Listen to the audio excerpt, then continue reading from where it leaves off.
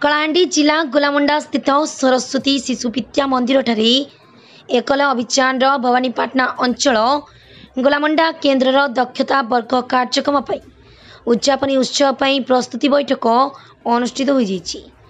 ଗତ ବାଇଶ ତାରିଖରୁ ଚବିଶ ତାରିଖ ପର୍ଯ୍ୟନ୍ତ ଚାଲୁଥିବା ଦକ୍ଷତା ବର୍ଗ କାର୍ଯ୍ୟକ୍ରମରେ ଆସନ୍ତାକାଲି ହେଉଛି କାର୍ଯ୍ୟକ୍ରମର ଉଦ୍ଯାପନୀ ଉତ୍ସବ। ଏହି ଉଦ୍ଯାପନୀ ଉତ୍ସବ ପାଇଁ ଆଜି ପ୍ରସ୍ତୁତି ବୈଠକ।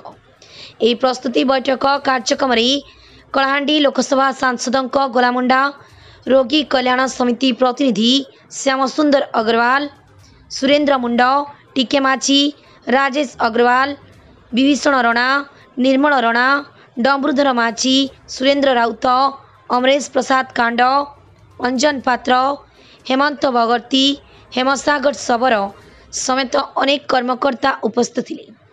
ଉଦ୍ଯାପନୀ ଉତ୍ସବ କାର୍ଯ୍ୟକ୍ରମଟିକୁ କିଭଳି କରାଯିବ ଅତିଥି କେଉଁମାନଙ୍କୁ ଡକାଯିବ ତଥା ବିଭିନ୍ନ ବିଷୟରେ ଆଲୋଚନା କରାଯାଇଥିଲା। କାର୍ଯ୍ୟକ୍ରମଟିକୁ ସକ୍ରିୟ କାର୍ଯ୍ୟକର୍ତ୍ତା ଘନଶ୍ୟାମ ଭାଟି ପରିଚାଳନା କରିଥିଲେ। ସାର୍ ଆପଣଙ୍କ ପରିଚୟ ଟିକେ କହିବେ? ମୋ ନାଁ ଜୀବର୍ଦ୍ଧନ ସାହୁ ଘର ବଲାଙ୍ଗୀର ଜିଲ୍ଲା। ଏବେ ଯେଉଁ ଏକଲ ବିଦ୍ୟାଳୟ ଚାଲିଛି ତାର ଓଡ଼ିଶା ସମ୍ଭାଗର ପ୍ରଶିକ୍ଷଣ ପ୍ରମୁଖ ଅଛି।